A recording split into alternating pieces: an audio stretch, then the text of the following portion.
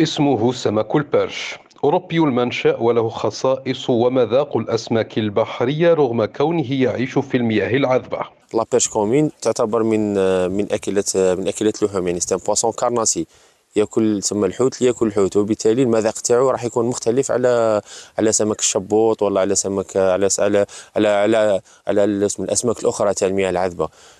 هذا هو يعني هذا هذا هو الهدف من التركيز اللي رانا مركزين على هذا على هذا النوع من الأسماك.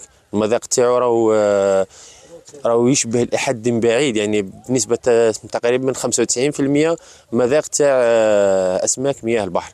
هذا النوع النادر بالجزائر يعيش حصرا بسد بريزينا جنوب ولاية البيض أين نزلت بعثة من ولاية سطيف لصيده ونقله إلى سدود الولايات الشرقية. اليوم أنا متواجدين هنا في سد بريزينا من أجل اصطياد نوع من الأسماك الذي يتواجد حصرا هنا في ولاية البيض من أجل نقله للمركز ومحطة سطيف بهدف تفريخ القيام بعملية التفريخ الاصطناعي والقيام ببعض التجارب العلمية.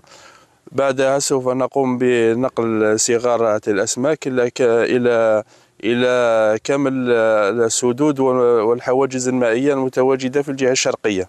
العملية تكتسي طابعا علميا واقتصاديا يستهدف تطوير تربية المائيات واستزراع الأصناف النادرة والقادرة على المنافسة في السوق السمكية وطنيا ودوليا.